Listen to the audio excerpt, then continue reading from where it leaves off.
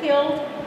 Uh, it, rumor has it that when Barnum and Bailey Circus came through on their parade, that the prosecutor's office was on this end of the hallway and they were detaining an individual. So those of you who like folklore, they, it's always speculated whether they were hanging him out of the window by his heels for a confession.